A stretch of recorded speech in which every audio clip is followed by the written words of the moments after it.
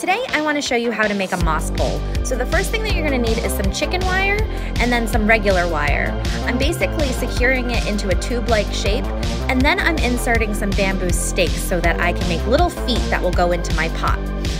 Once I have that all constructed, I start stuffing it with sphagnum moss.